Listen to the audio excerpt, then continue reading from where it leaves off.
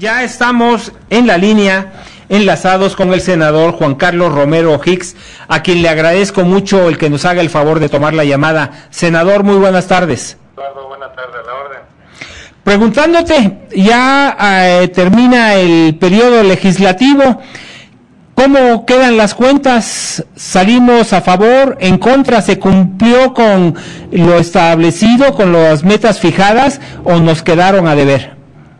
La agenda de un Congreso nunca concluye y evidentemente que hay muchos avances, como siempre en la vida hay áreas de oportunidad para poder avanzar. Algunos temas son más visibles que otros. Todavía hoy el Senado cerró a las 4.53 de la mañana y se procesaron muchísimos temas, justicia militar, reproducción asistida, un cambio a la Ley General de Educación en materia de cultura emprendedora, porque el tema educativo, por ejemplo, necesita desde el preescolar hasta la educación superior fomentar algo en donde la innovación y la cultura emprendedora sea parte del diseño del modelo educativo para formar no solamente personas completas, también personas que puedan desarrollar una capacidad de innovación, de competitividad en un mundo donde hay mucha incertidumbre y se requieren cada vez eh, más habilidades por el modelo de competencia que hay en, todas partes.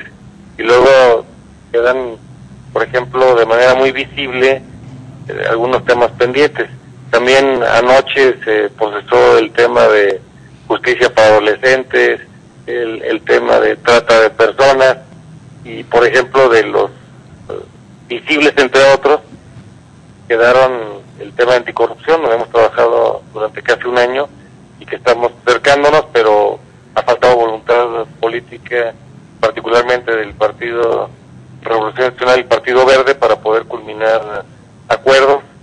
le dio mucha visibilidad al tema de la marihuana y el uso que este puede tener, y también está el tema de coordinación y, mandos policíacos. Entonces, quedan muchos temas pendientes. Ahí obviamente nos habían dicho Emilio Gamboa y Beltrones que lo de la marihuana y lo del sistema anticorrupción iba a ser votado el día de ayer y se iba a aprobar y resulta que siempre no. ¿Cuáles fueron las condiciones que se dieron para que no saliera esta esta ley? En el caso del tema anticorrupción, en mayo del año pasado hizo una reforma constitucional para diseñar un sistema anticorrupción y a partir de eso queda un año que vence el 28 de mayo para que se expida una leyes secundaria conforme al transitorio de la reforma constitucional.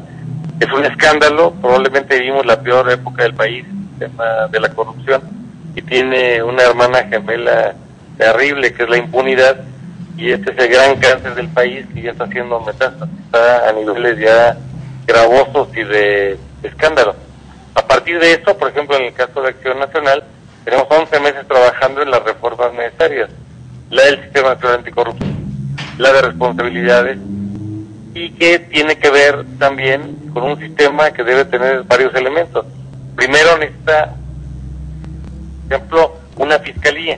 Y ahí el PRI llegó tarde a todo esto porque durante nueve meses arrastró los pies, no tiene una propuesta. Al día de hoy el PRI no ha hecho una propuesta para tener una fiscalía anticorrupción sólida, firme, con diente independiente y también unas reformas al Código Penal. Lo que se tiene en el diseño de manera muy preliminar son sanciones de carácter administrativo que claramente son insuficientes. Se necesita una fiscalía fuerte. Segundo, se necesita una auditoría superior de la federación más sólida. Tercero, un tribunal de la materia que conozca de esto. Cuarto, que tengamos también ciudadanía activamente participando.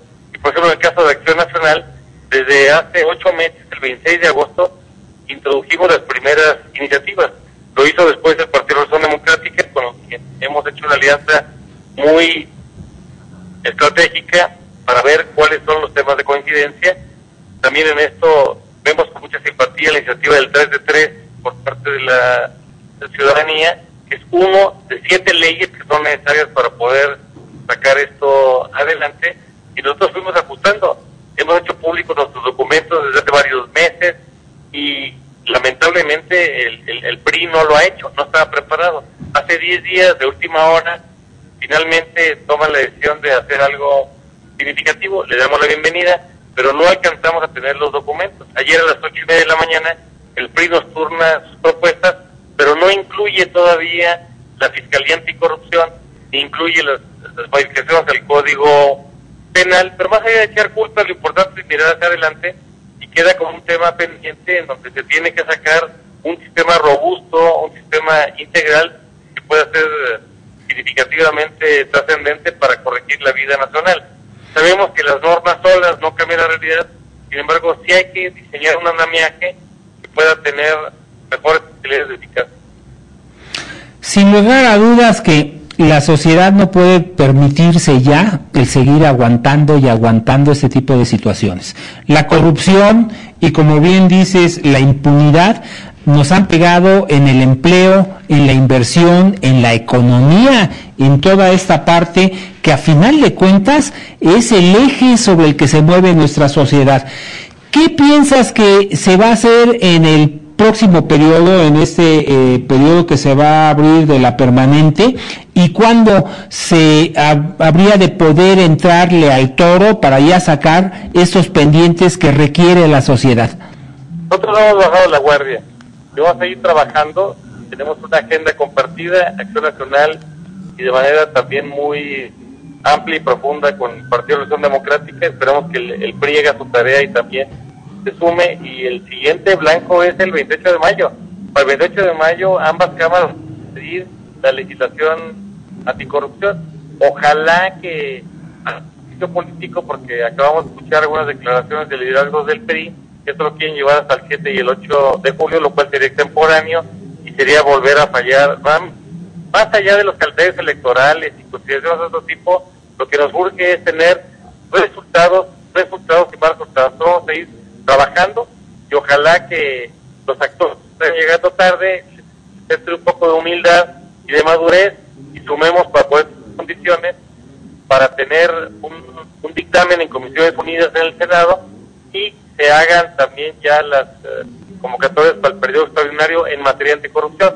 En paralelo debo reconocer que también los diputados están haciendo la tarea, están trabajando en modificaciones, particularmente el tema de fiscalización, y aunque se cerró el periodo hace unos minutos en San Lázaro y hoy a las 4 de la mañana en el no significa que este receso es para inactividad, es, es para aprovechar a seguir caminando.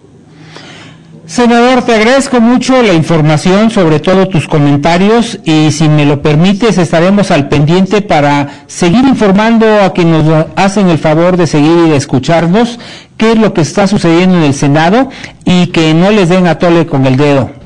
Encantando, vamos a seguir trabajando por propuestas, esto no puede esperar, vamos a caminar. Te agradezco muchísimo, senador, por habernos tomado la llamada y darnos esta información. Muchas gracias. buen día.